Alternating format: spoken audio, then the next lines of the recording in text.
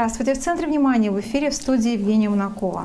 Совсем скоро, уже 4 октября этой осенью, будет произведено перезахоронение защитников Отечества, которые находились на территории Китая еще со времен Российской империи. И сегодня в гостях находится руководитель проекта «Историческая память Преамурья» Сергей Михайлович Орлов, который непосредственно, собственно, этим вопросом занимался. Здравствуйте, Сергей Михайлович. Добрый день. Сергей Михайлович, ну, действительно, это процесс такой был непростой, достаточно продолжительный, да, и связанный с международными процессами напрямую, потому что это все-таки отношения двух стран.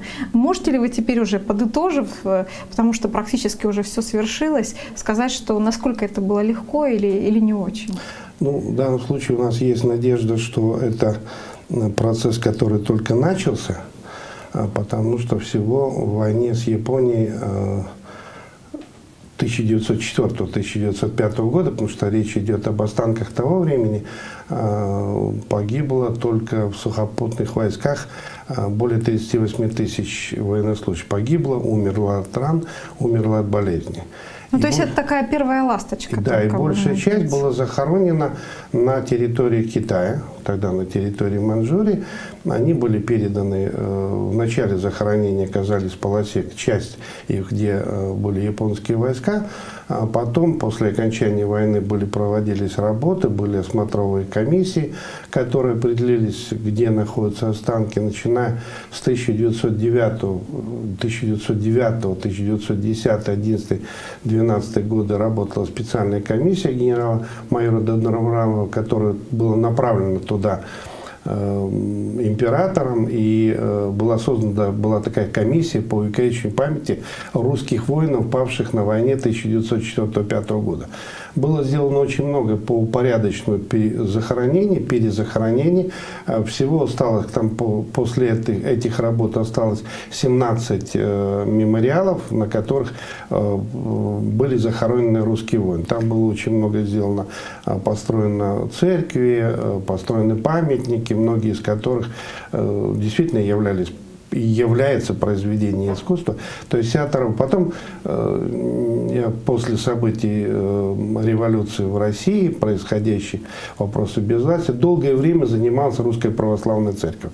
До э, оккупации этой территории японскими войсками в 1931 году и потом в 1938 году полная оккупация э, Манчжурии, э, занимались этими кладбищем, пытались проводить работы, и мы, вот, собственно, с их от той информации, которую они mm давали, мы, собственно, начинали э, и все вместе начинали поисковую работу.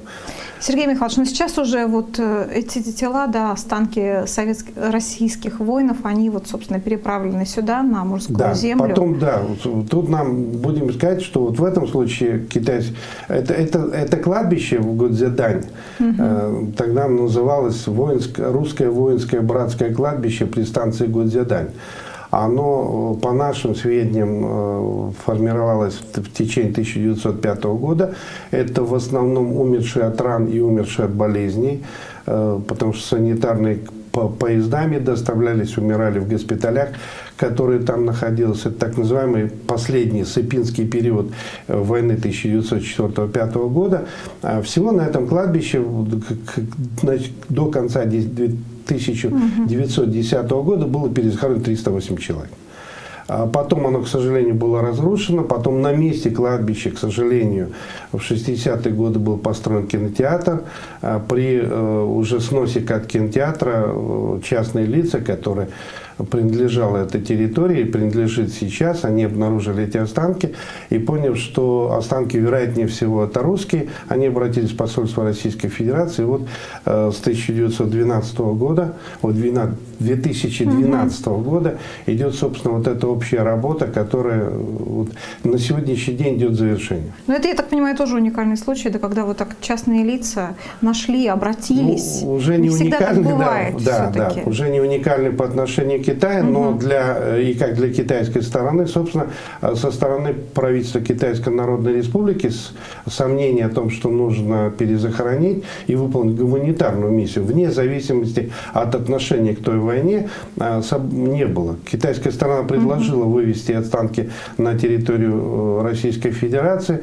Здесь вот подключилась администрация города Благовещенска, там мэром города Благовещенска был Козлов Александр Александрович, он тогда э, согласился и предложил э, перезахоронить останки в городе Благовещенске.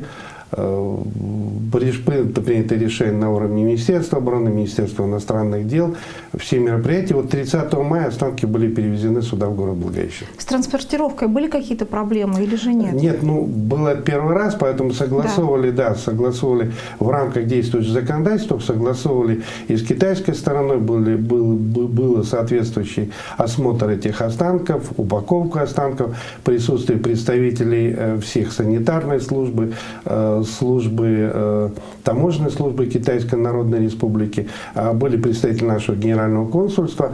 То есть все это было упаковано, э, соответствующе запечатано, перевезено по территории Китайской Народной Республики, прошло таможенные осмотры как на территории Китайской Народной Республики, как и на территории нашей Российской Федерации.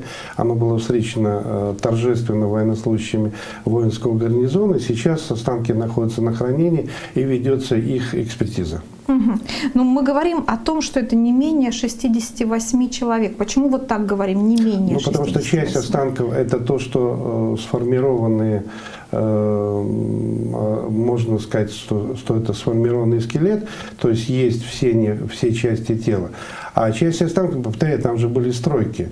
Часть останков – это отдельные кости, по которым э, эксперты уже ведет, и мы думаем, что по окончании экспертизы получим точное данное количество. Пока мы знаем, что среди э, вот этих э, людей безусловно, все, что все эти люди это европеоиды, то есть европейского происхождения, а, что э, подавляющее большинство из них мужчины и одна женщина. И вероятнее всего, что это какая-то из э, служащих э, одного из госпиталей Красного Креста, которых было множество на той войне. Сергей Михайлович, вот пока раскрою сейчас секрет фактически нашим зрителям, пока готовились к эфиру, вы мне так зачитали некоторые истории, некоторых, э, кого удалось опознать. То есть там работа ведется, она, я так понимаю, она еще продолжается. Да? Ну, мы сейчас, к сожалению, не можем опознать, у нас слишком мало материала для опознавания, угу. но зато мы можем собрать сведения о всех тех, кто был захоронен и перезахоронен на клад. Все 308. Сейчас у нас а, в таком, а, когда мы знаем максимально полные сведения сведения про людей, э, мы знаем о 45. Это и солдаты, рядовые, это офицеры. Э, на сегодняшний день мы полные сведения имеем э, в отношении пяти офицеров и 40 нижних чинов.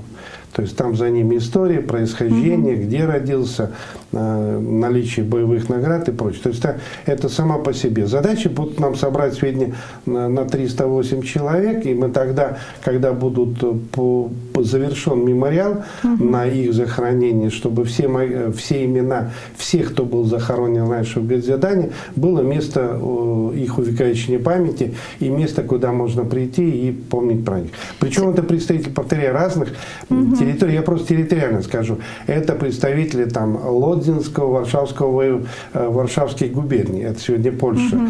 Это представители э, Бессарабской губернии, это сегодня эм, э, Молдавия, да. Угу. Это представители там губерний, которые сегодня там в состав входят Украины. Это представители Эстлянской губернии, это сегодня Финляндия. Угу. Вот это представители, вот мы сейчас даже из этого списка, это представители 13 территории. Петербургская губерния, Рязанская губерния. Есть представители Дальнего Востока, двух, два человека мы точно знаем. Угу. Это из уссурийского э, казачьего войска. Сергей Михайлович, где место будет? Где будет э, само Место это вот кладбище, действующее на 17 километре. Решением э, мэрии города, мэра выбран участок на въезде в это кладбище, где будет сформирован такой военно-мемориальный почетный участок на 72 сохранения, из которых пять будут использованы под захоронение этих военнослужащих. И теперь мы, когда будем находить или находиться останки э, То есть там будет место. да, у нас есть, будет такое красивое почетное место, на которое мы можем э, их захоронить. Сергей Михайлович, спасибо большое, что пришли к нам в студию. Всегда рада вас видеть. Спасибо. Я напоминаю, что сегодня с гостях был Сергей Михайлович Орлов, руководитель проекта «Историческая память Преамурья». Вы смотрели программу «В центре внимания». До скорой встречи.